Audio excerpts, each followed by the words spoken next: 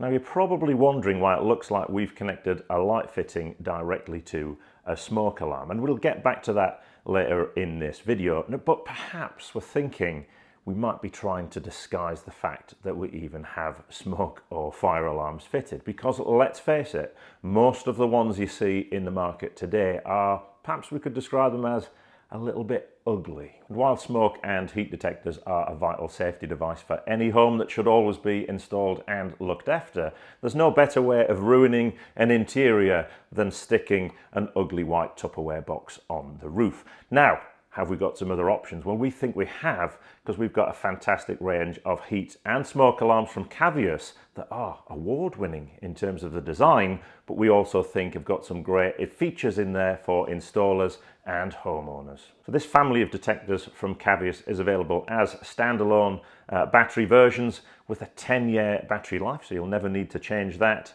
or hardwired mains versions with battery backup and again with a 10 year battery life. And the great thing is you can mix and match between the range so you can combine wired with battery powered sensors and they'll obviously talk to each other such that one sensor, if it detects uh, fire or heat, will trigger the rest in the building so you know when it's time to, to get out. Now, when it comes to setting up that wireless interlinking between them, for some units that can be a challenge. Now, not with this Cavius range. It's so simple, you can even do it on the bench before you get to site. The first step is to remove the tab to activate the batteries in the detectors and then switch them all into learning mode with this little slide switch. Uh, once we're there, we uh, select one of the units as a master unit and we're going to put that into learning mode by pressing the test button. Interesting thing about the test button on these detectors is the whole front of the sensor. It's not just that little circle in the middle and we'll come back to that later on when it comes to that light fitting connection.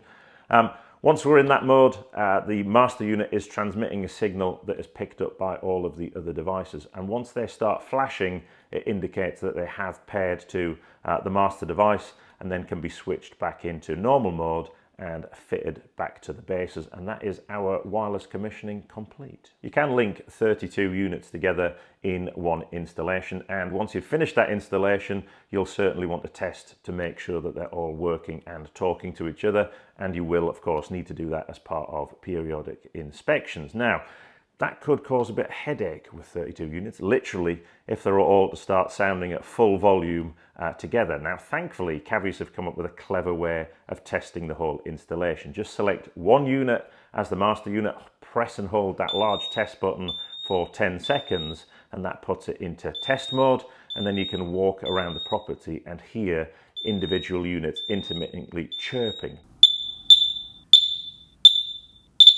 Now the great thing is they don't all chirp simultaneously, so it's very easy to tell that the actual chirp is coming from the unit that you're next to. So that literally doesn't deafen everybody in the building when you're doing that test. The actual wiring of the units is straightforward. There's a base that's fixed to the ceiling first so you can keep the sensor out of the way while all the other dusty trades are still working on site. And of course there is a dust cap should you need to uh, protect the units post installation. The bases themselves have got nice color coded terminals in there.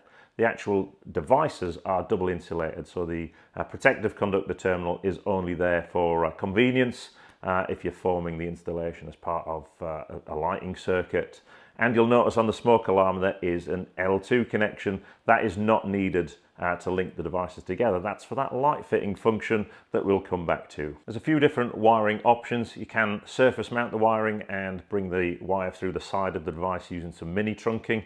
And we've just done a little example there, pairing that up with some uh, miniature uh, D-line trunking, again to keep that minimal aesthetic uh, but in most installations you're probably going to be wiring from behind the unit. You'll notice there's a slight difference in the terminal configuration between the heat detector and the smoke alarm and that'll have people reaching for the wiring regulations when you see uh, terminals going up against the ceiling and if you want to do that that is wiring regulation 526.5 where the building itself can form part of a junction box if it is tested suitably so it's, uh, it's not a flammable surface. Um, so for fixing to a wooden uh, ceiling, you probably need to add a conduit box behind the fitting. Some more great design features built into this range. There's a little tab you click in on the side of the unit. So once that's in place, you then need a tool to remove the sensor head from the base. So that's great for say rented properties where you want to prevent people from tampering with the alarms. There's also something to disguise your house barrassment. So imagine the situation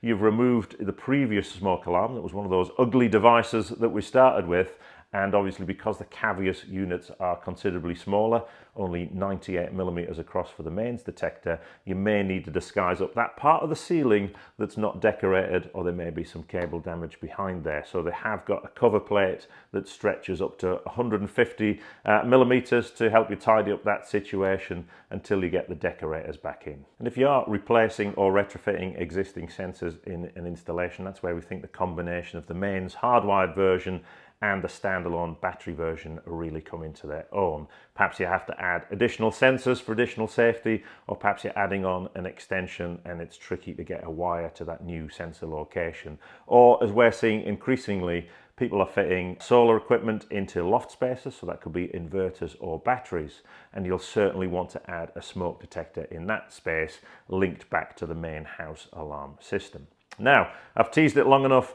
What about the option to supply a light fitting from the smoke detector? Now the test button in the middle isn't just a test button, you can actually drill that out and thread a cable in there and inside the detector itself is a cable grip and that L2 terminal that can be connected to a switch supply. Now we think there's a great little design option, particularly in houses where you want that minimal look on the ceiling and you can have quite a drop to a pendant fitting because of course the regulations suggest that uh, light fitting should be 300 millimeters away from the sensor. Now, if you want to see how we connected this version up here, we've made this little short video to show you the process that you can watch just here. And of course, I will leave a link in the description or floating around here where you can check out the full range from Cavius.